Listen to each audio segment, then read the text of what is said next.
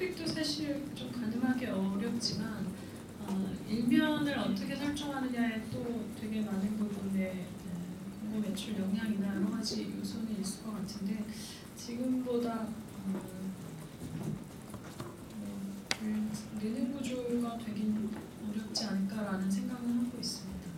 그렇지만 어, 저희가 사용자들이 원하는 구조를 잘 찾아내고 다시 좀 쓸 수 있는 또 다른 용도 뭐 이런 것들을 찾아내서 네이버의 활용 방안과 내용들을 다양하게 가져갈 수 있다면 장기적인